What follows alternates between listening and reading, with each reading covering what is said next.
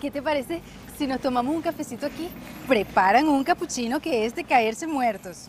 Sí, pero espérate, ¿y la medicina que íbamos a comprar? No, chico, qué medicina nada. Eso fue para sacarte de la casa, para que la pobre Mónica se quedara un ratito sola con Pablo. Ay, vamos a sentarnos por aquí. ¿Qué te parece aquella mesa? Bueno, a mí me da lo mismo, sí. Te va a encantar, es fabuloso. Ah, espérate.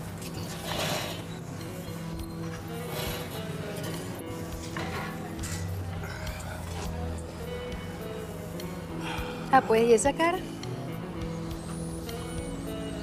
Ay, es por lo de Mónica, Oriana. No sé si estoy haciendo lo correcto. Pues claro que estás haciendo lo correcto. Ustedes no terminaron, pues. Sí, pero no sé. Aún así me siento culpable. Mónica ha sido la única madre que ha tenido Pablito y por supuesto que se adoran. El caso es que yo no quiero hacerle daño. A ninguno de los dos, ¿ves?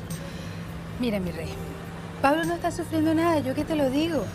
Tú sabes cómo son los niños. Así que por Pablo ni te preocupes. Ok, ¿qué hago con Mónica?